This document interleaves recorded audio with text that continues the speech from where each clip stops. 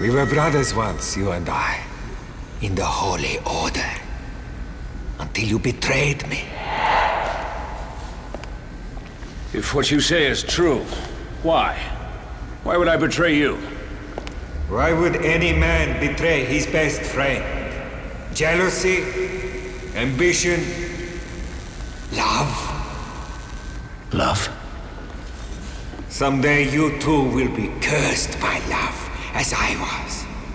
And all your efforts to resurrect it will turn to disgusting mockeries of what you once had, as have mine.